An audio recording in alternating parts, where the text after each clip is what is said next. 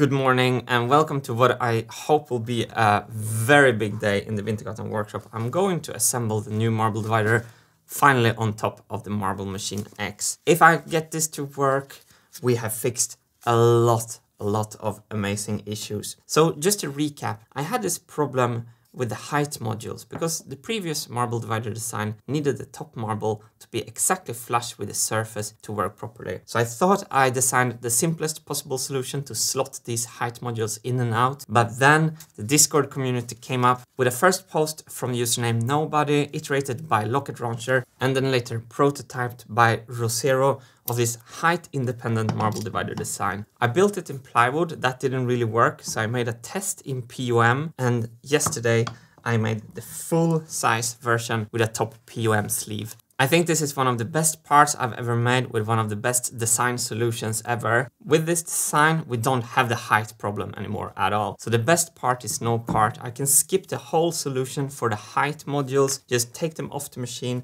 have a super clean one PMMA pipe from the top to the clock escapement gate. This is the future of the Marble Machine X and let's get it on the machine today. So here's the old marble divider, here's the new marble tracks, and thanks to this POM version working in the same angle, I will be able to use these marble tracks exactly as I built them. This is super exciting. Let's start with disassembling and making space for the new part.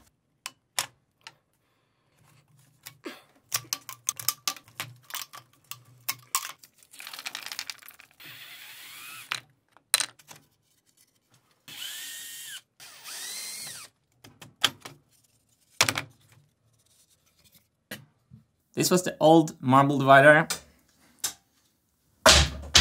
Thank you for your service. Here's the new one. So this marble divider sits at a compound angle. It's angled in three directions. So the way I'm going to fit this is that I designed this oversized. So right now it doesn't fit in. I have more material on both sides than I need. And I'm just slowly going to remove material. Measure, remove, measure, remove, measure, remove until I can slot this in. So I have a lot of cuts to make. Let's start doing that. For the first cut, I'm using this old marble divider as a rough guide and my DiResta marker for good luck. So only one rule applies here. Don't cut off too much. Be patient, make small cuts. For the touring version of the Marble Machine X that I'm working on with the CAD team, we have to exclude all these manual fitting processes. Everything should fit immediately with each other from CAD because these kind of things takes a lot of time.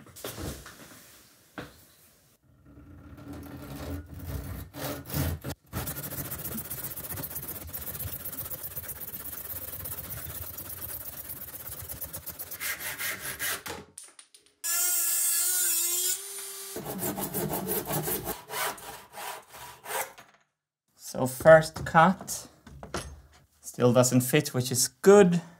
So let's figure out these angles now. I've rigged this up to the correct degrees and I'm now tracing this line here. I wish I'd done this in CAD as it's pretty nerve-wracking, but this actually doesn't have to fit absolutely perfect. As long as the marble intro and outro from the part is correct, the placement is good enough, so still. this right here is the only part left from the beginning of the first version of the marble divider. I'm gonna cut it in half, so some part still remains.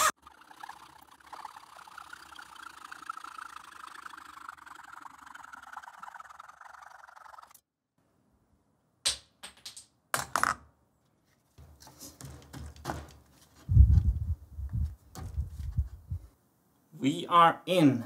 I realized how cool it would be to support the marble divider only from here, from, from, from behind. It becomes totally floating. So now I want to eliminate this part altogether. So just to show you what it's going to look like, imagine when these pipes are coming out like this, like that, and the whole marble divider is floating from here.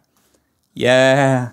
So to cut this off flush down here, I'm gonna make my favorite technique to remove the saw blade from a hacksaw and then cut by hand with only the saw blade. You can access places that you never thought was possible. oh. I didn't say it was easy, but it works.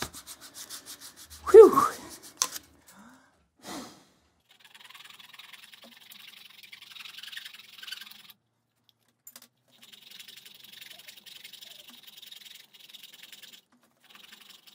Okay, we're really getting to the business end of this project now. Let's try to line that up. And I'm going to use a PMMA pipe to see how the marbles enter.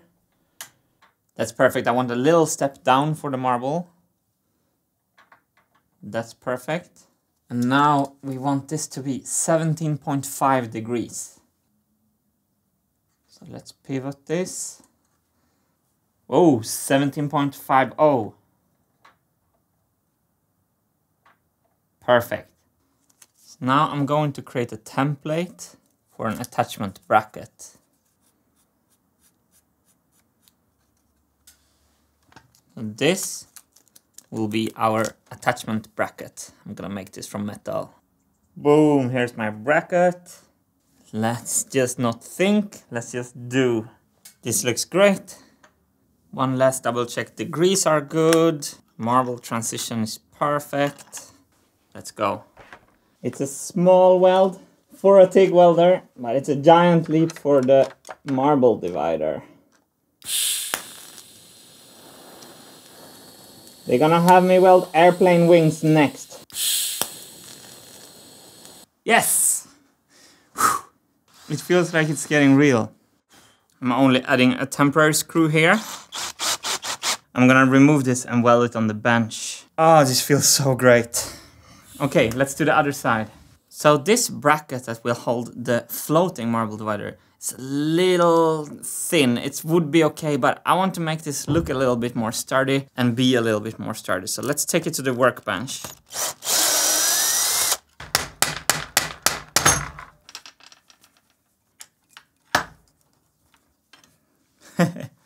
yeah, love this part.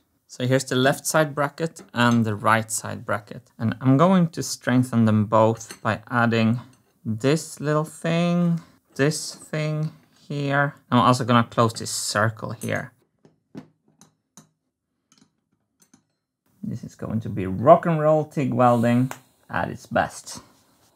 For some reason, I love these brackets. It took me no time to stabilize them and I don't mind the ugly welds because this is going to work. Time efficiency and kind of when you don't try to make it beautiful, it becomes an aesthetic in itself. Okay, let's get the marble divider finally onto the machine forever.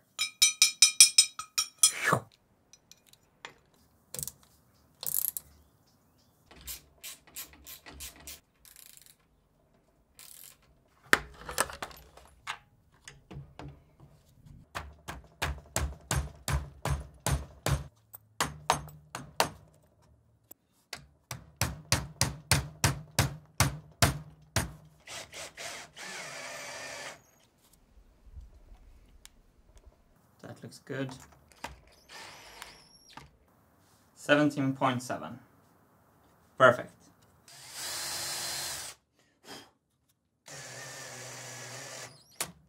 There we go. It's on. It's solid as a rock. We are two steps away from final test. I'm going to attach all the pipes to and from the marble divider. Like so. This is a pipe connecting the fish stair with the marble divider intro. This bolt needs adjusting. Awesome. So next step is this pipe leading from the marble divider back into the fish stair. So this will now complete the recycling loop. We have arrived. I've filled the fish stair. I'm gonna crank the machine. If the marbles fill the whole marble divider and returns through this pipe, it works. Let's go. We have one camera on the top here and one camera on the front recording at the same time. This is my first try. Plug and play, come on. I hear a strange sound. Ah, here, it's a marble on the flywheel. okay, strange sound fixed.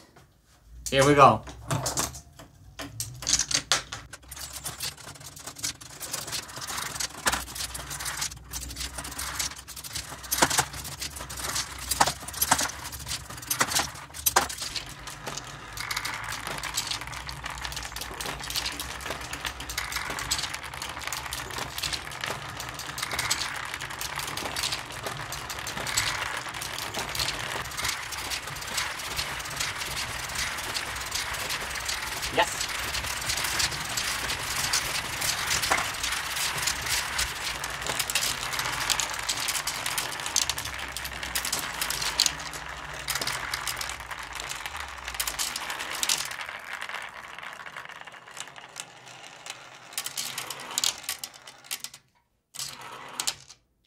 Beautiful. Every hole has a marble. It worked first try. Yes. It's kind of fun saying first try when I've literally been trying for three years.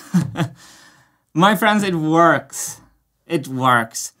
This is a bigger deal than it might seem. Totally eliminates the height issue and making all my routing of 38 marble PMMA pipes from here down to all the clock escapement gates so much easier. So again, thanks to Discord, thanks to Rosero for prototyping, nobody for coming with the idea, Locket Launcher for iterating, and everyone who has commented and made this idea happen through the Wintergatan Discord community. So next step now is to incorporate these marble lanes and make them line up perfectly from the conveyor down to the new divider. I've actually designed this POM part in a way so it will be totally compatible with these marble lanes. So that's going to be in the next video. Thank you so much to all the Wintergatan YouTube members and all the Wintergatan patrons and everyone watching and following this crazy build. I'm thrilled. It feels like I'm doing deep work. It feels like I'm doing what I should do. It feels like I'm learning about redundancy the hard way